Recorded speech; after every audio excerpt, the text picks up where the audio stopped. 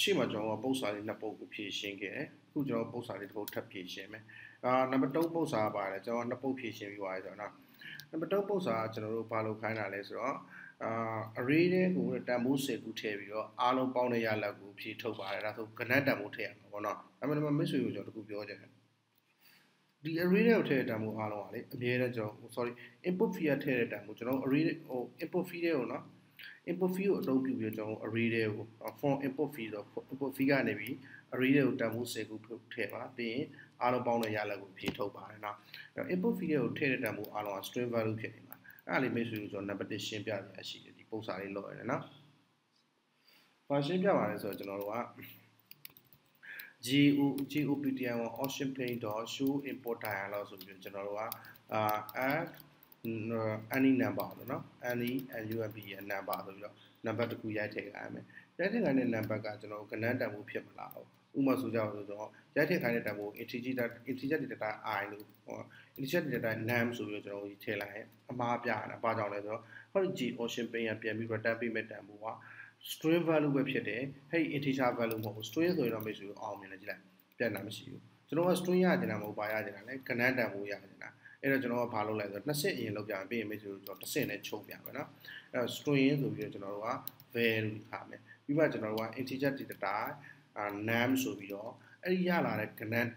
စာရတန်ဖိုးကဏ္ဍပြောင်းမယ်အဲ့တော့စာရကိုကဏ္ဍပြောင်းခြင်းကျွန်တော် int g integer.parseInt ဆိုပြီးတော့တုံးပြီးပြောင်းလို့ရတယ်ဒီ integer class တွေက pass in မှာတန်တယ်နော်အဲ့တော့ဒီ value ဆိုပြီးလာပြောင်းတယ်အဲ့ဆိုရင်ဒီ nan ကကဏ္ဍတန်ဖိုးဖြစ်သွားပြီ အဲ့ဒီ nan ဘယ်ရရလာလဲကျွန်တော်တို့ကကဏ္ဍတန်ဖိုးပြောင်းပြီးရလာတာဘာကိုကဏ္ဍတန်ဖိုးပြောင်းတာလဲ value ကို value ကဘယ်ရရလာလဲပြည့်တဲ့ရိုက်ထည့်လိုက်တဲ့တန်ဖိုးဟုတ်ပြီနော်အဲ့တော့ကျွန်တော်အလွယ်ပြောင်းခြင်းကျွန်တော်ကအဲ့ဒီ value လို့ဂျားမခံမနေတော့ဘဲနဲ့တိုက်ရိုက်ဒီ value ကိုပေးလိုက်တဲ့ DJ option pane တခုလုံးကိုကျွန်တော် integer.parsin ဆိုပြီးလာလုပ်လို့ရတယ်အဲ့ဒါဆိုကျွန်တော်တို့က G option pane တခုလုံးကိုအဲ့လိုဝင်စားခွင့်ပေးနေအုံလိုက်လို့ရတယ်ပြီးရင်သူက integer ဖြစ်သွားပြီဖြစ်တဲ့ကြောင့် integer လို့ပြောင်းလိုက်အောင်မယ်နော် အဲ့တော့ shortcut နဲ့ဟိုအတူဟောက်ရေးပြတော့နော် okay စမယ်ကျွန်တော်တို့ကအဲ့ဒါဆိုရင်ပိတ်တက်ကို10ချိန်ကဏ္ဍရိုက်ထည့်ခိုင်းမယ်ပြီးရင်ရိုက်ထည့်လိုက်တဲ့ကဏ္ဍ10ချိန်ကိုအားလုံးကိုအဖြေထုတ်မယ်အဲ့တော့ပထမတဲ့တစ်ချိန်ရိုက်ထည့်ပြီးတိုင်းကျွန်တော်တို့ကရိုက်ထည့်လိုက်တဲ့တန်ဖိုးတိမ့်ထားရမယ်အဲ့တော့ကျွန်တော်က numbers array ထဲမှာလာတိမ့်ထားရမယ်ဘယ်လိုတိမ့်ထားမလဲဆိုတော့ number array ဖြစ်တဲ့အတွက်ကြောင့်ကျွန်တော်တို့က array square bracket ထည့်ပြီးလိုက် ထည့်ပြီးမှကျွန်တော်တို့က new integer data type 10လုံးသိမ့်မဲ့နေရာလို့ကျွန်တော်တို့က array ရင်တိစောက်ထားမယ်အဲ့ဒါမှ page တဲ့ရိုက်ထည့်တဲ့10လုံးတစ်ချိန်စီရိုက်ထည့်တဲ့တန်ဖိုးဒီမှာလာတိမ့်ထားအောင်ဟုတ်တယ်မလားအဲ့ page ကို10ချိန်ရိုက်ထည့်ခိုင်းမယ် for loop အစတင်မှာကောအဆုံးတက်မှာကောကျွန်တော်တို့သိတယ်0ကစမယ်10အထိသွားမယ်ဟုတ်တယ်မလား10အောက်ထိသွားမယ်ပြီးရင် i ဘောင်းမယ်ပြီးမှကျွန်တော်တို့ကအာအဆုံးက integer data type name ဆိုပြီးတော့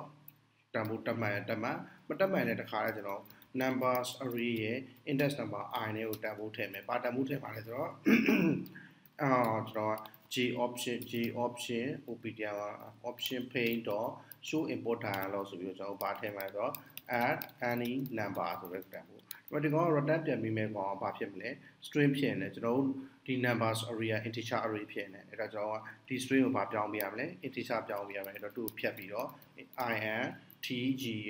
intg integer.parseInt ဆိုပြီးတော့ integer ပြောင်းပြီးလိုက်ပြောင်းပြီးလိုက်ဒီ number တွေကိုဝင်သွားလိုက်မယ်ဝင်သွားပြီးကမှကျွန်တော်တို့ကအားလုံးကိုပေါင်းပြီးအဖြေထုတ်စေခြင်းလဲဆိုတော့ကျွန်တော်ကနှစ်ဆင့်လို့လည်းရတယ်ဒီတစ်ဆင့်လည်းပဲဒီမှာအလွယ်တကူကျွန်တော်ပေါင်းထည့်လိုက်ဖြေထုတ်ရင်လည်းရတယ်နော်ကျွန်တော်နှစ်ဆင့်လုပ်ပြချင်တာ array တွေကိုတန်ဖိုးလေးထည့်တာမိတ်ဆွေတို့သိအောင်လို့အားလုံးပြီးသွားပြီဆိုတော့ကျွန်တော်တို့က integer data တိုင်း total ဆိုဘာတွေပဲတိစောက်ပြီး2 0ပေးထားလိုက်ရှိမှကျွန်တော်တစ်ခေါက်တွေ့ခဲ့တဲ့အတိုင်းပဲကျွန်တော်က i 0 i less than numbers array ရဲ့ length အောင်နေတယ်လို့ပြောဟုတ်တယ်မလားအပြီးတော့မှ i plus plus ဆိုပြီးတော့ကြာလာတဲ့ total တန်ဖိုးကဘာဖြစ်မလဲဆိုတော့၎င်း numbers array ကို looping ပတ်ပြီးရလာတဲ့တန်ဖိုးတစ်ခုချင်းစီကိုပေါင်းလဲရလာပြီးတော့မှကျွန်တော်တို့က system output ဆိုပြီး total ကိုအရင်ထုတ်ထားလိုက်ဒါပေမဲ့ looping မပတ်ခင် main ကိုသိတာတော့ကျွန်တော် system output ဆိုပြီးတော့ array1s array. to string ဆိုပြီးတော့ string ပြောင်းပြပေးထားအောင်မယ်ဘာတွေရောက်လာလဲသိအောင်လို့လေနော် ခုကျွန်တော်ပြရအောင်လုပ်ပြမယ်ဒါဆိုရင် next show ရင် show မှာဖြည်းဖြည်းချင်းလေ့လာပါတော့နံပါတ်1ရိုက်ထည့်ခိုင်းပြီကျွန်တော်တို့ရိုက်ထည့်ပြီးလိုက်ကျွန်တော်နံပါတ်1က100ရိုက်ထည့်လိုက်တယ်ပြီးရင်နောက်ထပ်200ရိုက်ထည့်လိုက်တယ်ပြီးရင်ကျွန်တော်7နှစ်73နှစ်45စသဖြင့်ကျွန်တော်စိတ်ကူး100ရိုက်ထည့်နေတယ်မယ်နော်ပြီးတော့ဒီမှာတန်ဖိုးတွေထည့်တန်ဖိုးတွေထည့်โอเคနောက်ဆုံးကျတော့ကျွန်တော်100 200 7နှစ်နှစ်3 345 345 11နှစ်တော့ 1နှစ်တော့345 345ဆိုရိုက်ထည့်ခဲ့တယ်အဲ့တန်ဖိုးအားလုံးပေါင်းတာ1940ရတယ်เนาะလွယ်လွယ်လေးပဲဖြည်းဖြည်းချင်းတွေးသွားလိုက်တယ်မိတ်ဆွေနော်โอเคနောက်တစ်ပုဒ်စာတစ်ခုပါရတယ်တော့အော်ကာကြီးကနေအာတီဖြေထုတ်ပါတယ်အဲ့တော့ဟောနည်းနည်းနည်းနည်းလေးနှက်တယ်โอเคရပါတယ်ကျွန်တော်တို့ကအမိတ်ဆွေကိုကျွန်တော်တရားတစ်ခုပြောပြမယ်ကျွန်တော်တို့မှာ character ရဲ့ character code တွေရှိတယ်နော် character code တွေရှိတယ်အဲ့ character value တွေကတကယ်တော့ integer value တွေပဲမိတ်ဆွေကိုကျွန်တော် primitive data type မှာပြခဲ့ပြီးသွားပြီဥပမာဆိုကြပါစို့ကျွန်တော် character value တစ်ခုတည်ဆောက်မယ်ဆိုရင် c ရေက ch ch က c equal ဆိုပြီးတော့ကျွန်တော်တို့က c လို့ပြောလိုက်မယ်ဟုတ်နော်နှစ်ခုထည့်လို့မရအောင်ထည့်ရတယ်မှားပြီတွေ့မလားသူကတစ်ခုပဲထည့်လို့ရမယ် single code နဲ့ပဲရေးရတော့နော်ဒီကကျွန်တော်လာပြီး output လုပ်လိုက်မယ် system output c ဆိုရင် c ရဲ့တန်ဖိုးဖြစ်တဲ့ character value c ကိုဖြည့်ထုတ်ပေးလိုက်မယ်နော် c ကိုဖြည့်ထုတ်တယ်နော် တော့ character value ရဲ့ integer လို့ဘာကြောင့်ပြောလဲဆိုတော့သူတို့ကိုကျွန်တော်တို့ parsing လုပ်လို့ရတယ် integer နဲ့ custom ဖမ်းမယ်ဆိုပြီးတော့ရှေ့ရနေပြီးတော့သူက character value ကို integer ပြောင်းဖြစ်လို့ရတယ်ရှေ့ရတဲ့ခွင့်သောက်ခွင့်ပေးတဲ့ int int လို့ထည့်လိုက်လို့တရား integer value ပြောင်းသွားတယ်မကြည့်လား69တယ်နော်အဲ့တော့ကျွန်တော်ဥပမာဆိုကြပါစို့ပမာစာဖြစ်တဲ့ကာကြီးဆိုရင်ရောဘာလာမလဲလို့ကြည့်လိုက်ပေးရမှာလောက်လိုက်496တယ်နော်အဲ့တော့ကာကြီးကနေအာအထိသွားမှာမလားကျွန်တော်အာဘလောက်လဲလို့ကြည့်လိုက်မယ် အာဘလောက်လဲဆို496ကစာမယ်ပြီးတော့4029အထိတွားရမယ်အဲ့တော့ချက်ကြည့်ကြည့်အောင်ကျွန်တော်ကကျွန်တော်ဘယ်ကနေပြင်ထိလူပင်ပတ်အော်လူပင်ပတ်ရမလဲဆိုတော့ကျွန်တော်က4396ဖြစ်တဲ့ကာကြီးကနေပမာလိုလာဖြစ်နေ4396ဖြစ်တဲ့ကာကြီးကနေအာနောက်ဆုံးဖြေရဘယ်လောက်ရအောင်လဲ come on stupid နောက်ခေါ်လောက်လာကြည့်လိုက်အောင်နော်ကာကြီးက4096ဟော4029လားဘယ်လောက်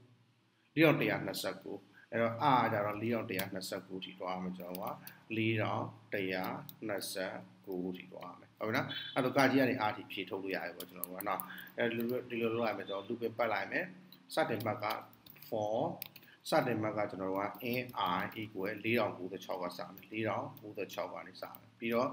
i က less than ဆိုပြီးကျွန်တော်ကဘာ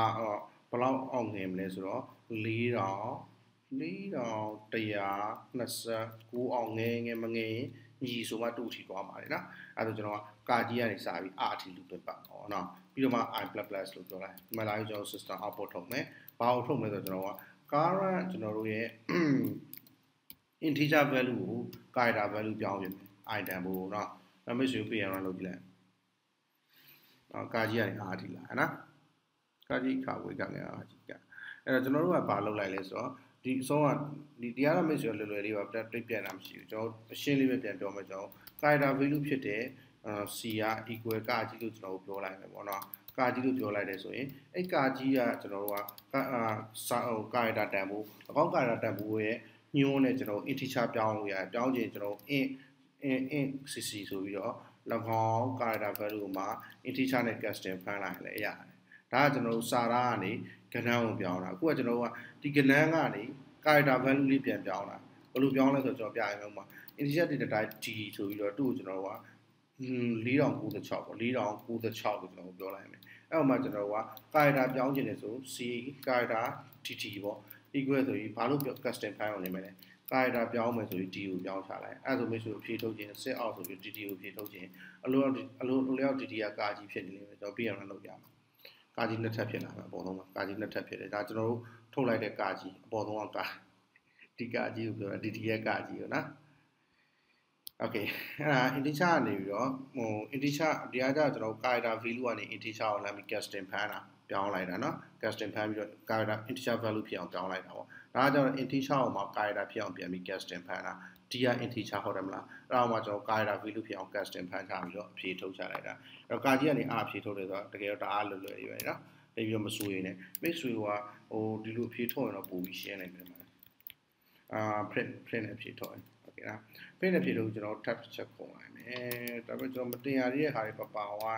ဒါလေးလေးကောင်းပါပြီးတော့ချက်လိုက်လိုက်မယ်ဒါ tab တစ်ချက်ခုံတာเนาะဒီလေးရိုက်ထည့်တာအဲ့မှာ ကာကြီးခါဝေကာကေကာကြီးကစာလုံးစားရေးစာဝတ်စာဝင်နေတာစသဖြင့်ကျွန်တော်တို့ထပ်တစ်ချက်ခုံပြီးသွားတယ်။ Okay အဲ့တော့ဒီတင်္ဂနာလောက်ပဲနောက်တင်္ဂနာမှာကျွန်တော်တို့ဘာတွေတွေ့အောင်လဲဆိုတော့အာ user name နဲ့ password ရိုက်ထည့်တဲ့ program လေးတိစောက်ရမယ်။ Okay တိစောက်တာပေါ့ stock